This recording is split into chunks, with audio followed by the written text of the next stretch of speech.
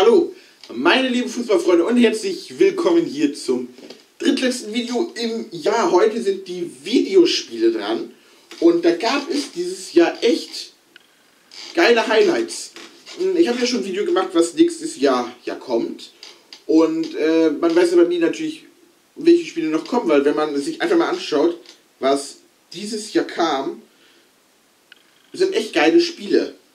Äh, ich werde so ein bisschen auch Monat Monats äh, chronologisch vom Monat her gehen. So, ich musste gerade die Worte finden. Mensch, was ist los mit mir? Also, fangen wir mit dem Januar an. Ich werde jetzt auch nicht alle Spiele nennen, aber da ist halt das Highlight von allen Spielen, die hier stehen, Resident Evil 7 Biohazard. Also, die Resident Evil-Reihe wurde halt fortgesetzt. Äh, und ich muss sagen, geiles Spiel. Ähm, mit echt Plot-Twisten drin, wie ich finde. Äh, so zwei große so gesehen. Ähm, und vom, insgesamt so vom Spielen her ist es echt cool. Ist auf jeden Fall für mich erstmal Spiel des Monats.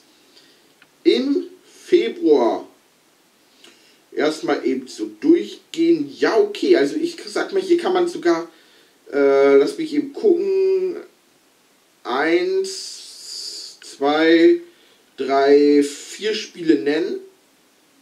Fünf. Oh, oh, fünf. Okay, ich fange mal eben an.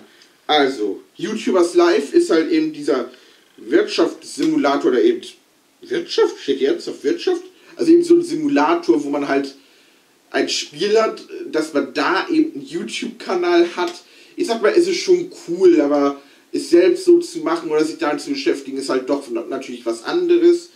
Ähm, außerdem gab es in dem Monat WWE 2K17 Wrestle, Wrestling halt eben. Außerdem kam For Honor raus. Ähm, das ist eigentlich sogar für mich das Spiel des Monats. Noch vor Sniper Elite 4 und Halo Wars 2. Ähm, das sind so die größten Highlights in diesem Monat gewesen. Aber For Honor, also ähm, der Hype war echt groß und ging auch echt lange, muss ich zugeben. Ich habe es nicht gespielt, aber dennoch, wenn man alles liest und es mitbekommt, ähm, also ist auf jeden Fall aber auch so vom Feature und insgesamt hier ein cooles Spiel, muss man zugeben.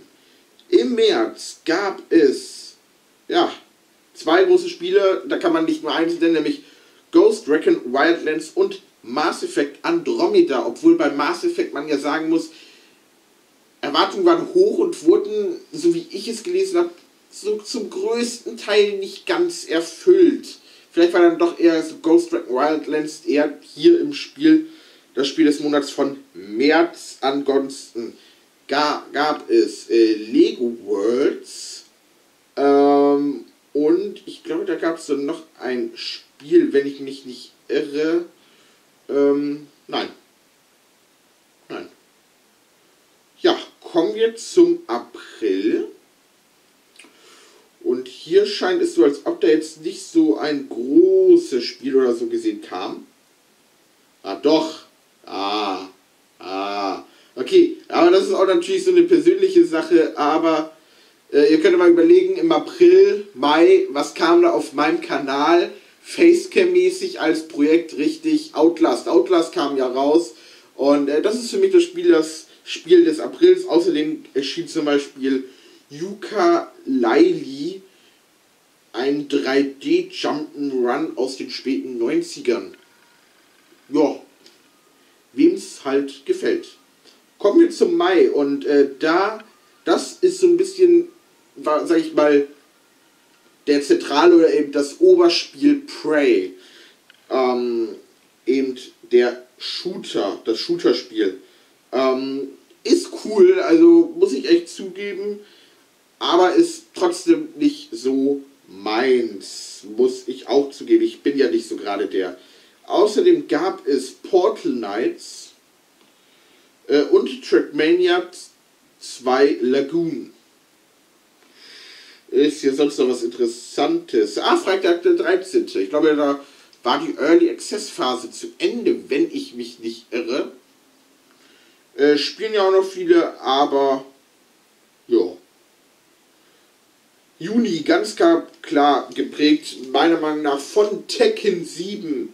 Tekken 7, also ist ja echt ein großes Spiel. Ansonsten nicht so diese großen Namen oder so von meinen Erinnerungen her. Ähm, ja. Aber das war, ja.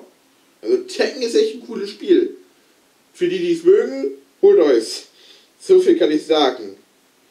Ähm, ja, im Juni kam Sierra Scrolls Online, aber auch äh, die zweite Staffel von den Telltale Adventures Minecraft Story Mode.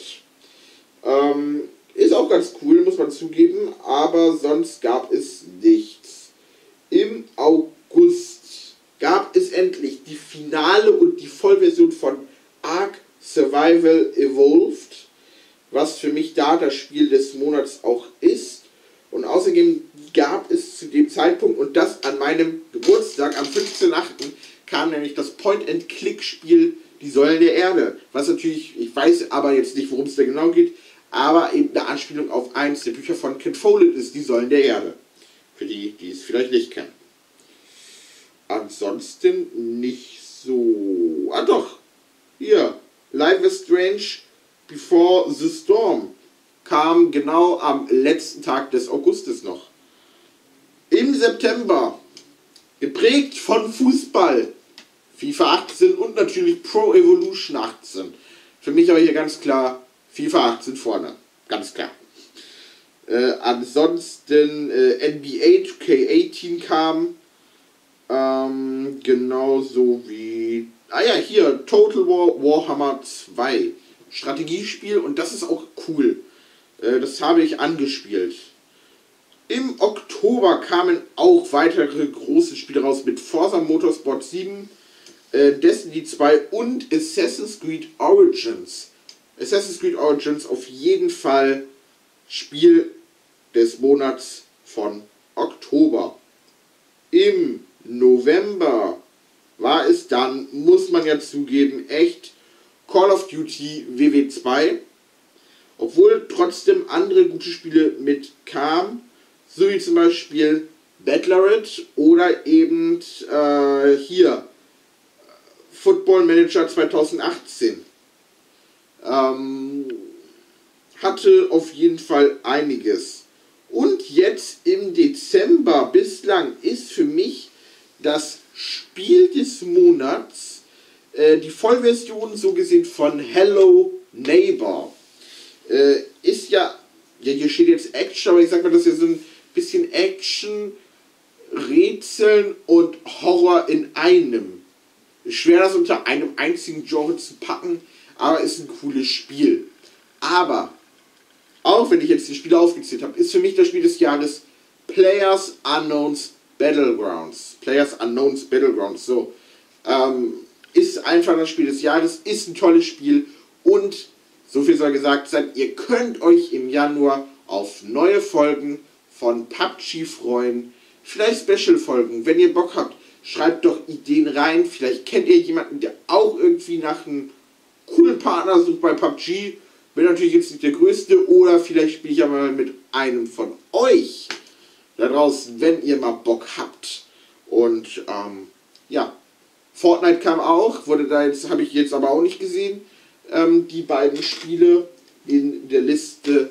Aber wie gesagt, trotzdem kamen große Spiele raus. Für mich das Spiel des Jahres, aber trotzdem PUBG weil das spielen immer noch viele, echt auf der ganzen Welt, auch überall. Ähm, und ist halt einfach nur cool. Nächstes Jahr soll es halt, halt ja auch voll rauskommen. Ähm, jetzt kam ja auch, jetzt neuerdings ja das große Update. Eine zweite Map gibt's, also äh, was soll man da noch falsch machen, muss man zugeben. Ist echt besser als H1Z1 oder halt auch eben als Fortnite. Fortnite kam ja aber nach PUBG. Ähm, aber so insgesamt einfach vom Prinzip her PUBG awesome. Einfach nur awesome. Schreibt in die Kommentare, was ist euer Spiel des Jahres? Ist es ebenfalls PUBG? Ähm, und wir sehen uns morgen zum vorletzten Video. Morgen kommen wir zur Musik. Und äh, ja, freut euch drauf. Übermorgen das letzte Video des Monats. Und ähm, ja, wenn es euch gefallen hat, lasst einen Daumen nach oben da, abonnieren und die Glocke daneben betätigen. Nicht vergessen. Und äh, mir bleibt nur noch zu sagen, Anpfiff, Abpfiff, Tor. Ciao Fußballfreunde und bis zum nächsten Mal. Haut rein und tschüss.